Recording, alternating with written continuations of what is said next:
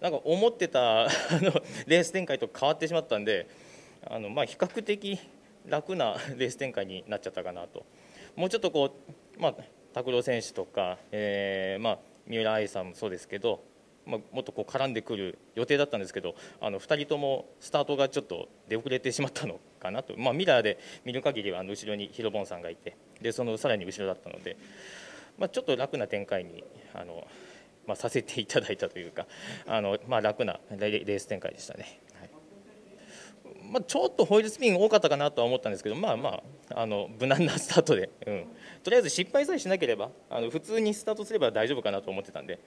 はい、一応予定通りです、ね。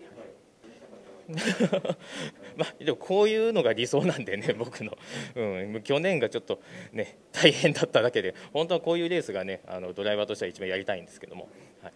そうですね、まあ、同じように レースね、こういう感じで、えー、進めていきたいなと思うんですけど、まあ、次ね、また篠原選手が、えーまあ、彼が普通に、まあ、失敗することなく、普通にスタートすれば、まあまあ、絶対ついてくるとは思っているんで、まあ、あのこれで油断することなく、あのまあ、気を引き引き締めて、えー、次のレースも挑みたいなと思います。